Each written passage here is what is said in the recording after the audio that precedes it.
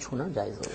اچھا اگر فرض کیجیے کہ اس نے بغیر جزدان کے یا بغیر کسی کپڑے کے جو اس کا اپنا کپڑا نہیں ہے اس قرآن کو چھو لیا اٹھا لیا اس میں پھر اس کو کیا کفارہ دینا ہوگا؟ دیکھیں اس میں کفارہ کوئی بھی نہیں ہوتا۔ اگر تو نادانستہ طور پہ اس نے اٹھایا کہ اس کو اپنے حالت جنابت ہی یاد نہیں تھی بھولا ہوا تھا اور اس نے اٹھا لیا یاد آیا تو فوراً ادب و احترام سے رکھ دے۔ اور یہ بالکل گناہ گار بھی نہیں ہوگا. اور اگر یاد ہو تو؟ احتیاطاً اللہ کی بارگاہ میں توبہ کر لے کہ غفلت ہو گئی. اور اگر جان بوجھ کے اٹھایا یاد ہونے کے باوجود اٹھایا تو اب اس میں دو صورتیں ہیں کہ اگر معذ اللہ اس کو حلال سمجھ کر اٹھایا تو پھر اس کو احتیاطاً تجدید ایمان اور تجدید نکاح کرنا چاہیے. یہ بہت سخت جرم ہے کہ اللہ نے منع فرمایا اور اس نے جان بوجھ کے ایسا ارتکاب کیا اور حلال سمجھ کر کیا. اور اگر وہ حرام سمجھ کے ہی کر رہا ہے کہ یہ ہے تو حرام لیکن پھر بھی میں کر لیتا ہوں تو اس صورت میں سخت گناہ گار ہوگا اس کو توبہ کرنی ہوگی۔ اچھا ایک تو بات آ گئی غلطی کی ایک بات آ گئی دانستہ۔ ایک بات یہ ہے کہ اس کی کم علمی ہے کہ اس کو نہیں پتا کہ جی اس حالت میں حالت جنابت میں قرآن کو اس طرح سے اٹھانا نہیں چاہیے۔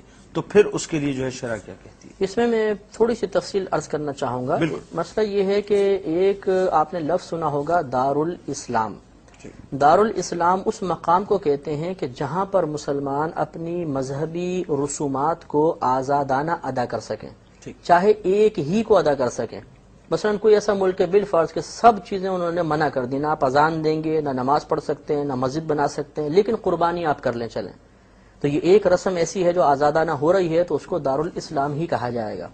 اب مسئلہ یہ ہے کہ دار الاسلام میں جہالت عذر نہیں ہے یعنی کم علمی کو عذر نہیں مانا ہے۔ دار الاسلام میں آدمی پر لازم ہے کہ وہ جا کر علم سیکھے اور سیکھنے کے بعد اپنی اصلاح کرے۔ تو اب ان کی کوتاہی ہے انہوں نے جہالت کا مظاہرہ کیا بلکہ بزرگان دین نے تو یہاں تک لکھا ہے کہ کوئی صاحب علم اگر گناہ کرے گا تو ایک گناہ لکھا جائے گا اور جاہل گناہ کرے گا تو دو گناہ لکھے جائیں گے۔ ایک اس کے گناہ کا گناہ دوسرے جہالت کا گناہ کہ اس نے علم کیوں نہیں سیکھا۔ دو۔ گناہ لکھے جائیں گے اس لیے فوراً سے پیشتر علم حاصل کرنا چاہیے۔ اچھا یہ فرمائیے قرآن پڑھ سکتا ہے۔ اگر بے وضو کے بارے میں تو لکھا ہے فقہ زام نے کہ وہ چھو نہیں سکتا لیکن زبان سے پڑھ سکتا ہے۔ اور جو حالت جنابت میں ہے اس کے لیے حکم بہت زیادہ سخت ہوتا ہے کہ یہ زبان سے بھی قرآن کو نہیں پڑھ سکتا۔ اگر پڑھے گا تو سخت گناگار ہوگا۔ ہاں اگر یہ صورت ہے کہ قرآن سامنے رکھا ہوا ہے زبان بند ہے یہ نگاہوں سے پڑھ رہا ہے یہ جس کو دل سے پڑھنا کہتے ہیں دلی دل میں پڑھ رہا ہے دیکھ کر تو یہ جائز ہے کہ بغیر چھوئے خالی نگاہوں سے پڑھنا۔ لیکن اگر زبان ہلی اور اتنی آواز پیدا ہوئی کہ اپنے کانوں نے سنا تو اب یہ حرام ہے اور گناگار ہوگا توبہ کرنا۔ اچھا ایک بڑا امپورٹنٹ مسئلہ میں چاہوں گا کہ اس حوالے سے آپ اپنے دیکھنے والوں کو بتائیں کہ معلمہ جب قرآن پڑھا رہی ہوتی ہیں تو اس حالت میں یعنی جنابت کے عالم میں یا حیض کے عالم میں وہ قرآن پڑھا سکتی ہیں بچیوں کو کہ نہیں پڑھا سکتی؟ جی انشاءاللہ۔ دیکھیں، اسباب غسل کے اندر، جیسے میں نے شروع میں عرض کیا تھا کہ جاگتے یا سوتے میں مادہ منویہ کا شہوت کے ساتھ نکلنا یا سوتے میں احتلام کا دیکھا جانا، جس طرح اسباب ہیں، ایسی حیض و نفاس بھی غسل کے اسباب ہوتے ہیں۔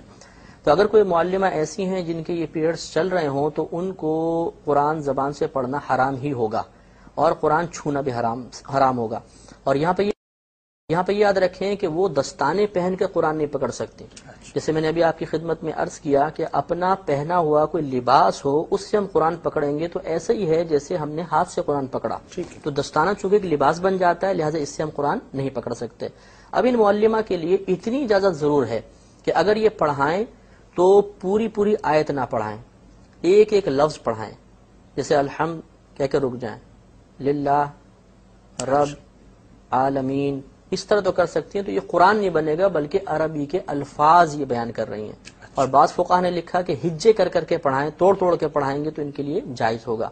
تو بہرحال بہتر تو یہ ہے کہ ان دنوں میں اگر چھٹی کر سکتی ہوں اور کوئی متبادل معلمہ ہے تو وہ پڑھا لیں، ورنہ اگر یہ پڑھانا ہی چاہتی ہیں، کوئی مجبوری ہے، تو اس طرح توڑ توڑ کے پڑھائیں گی اور ہجوں کے ساتھ پڑھائیں گی تو جائز ہے، ورنہ گناہ گار اچھا ابھی فرمائیے، اس میں ایک بڑا اور اہم سوال ہے، چونکہ حیض کی بات آئی تو میں چاہوں گا اس حوالے سے آپ ذرا سا کلیئر کرتے ہوئے چلیں کہ اوراد و وظائف کی جو خواتین کثرت کیا کرتی ہیں، عموماً ان کے ساتھ یہ پرابلم رہتی ہے کہ تیئیس دن تو وہ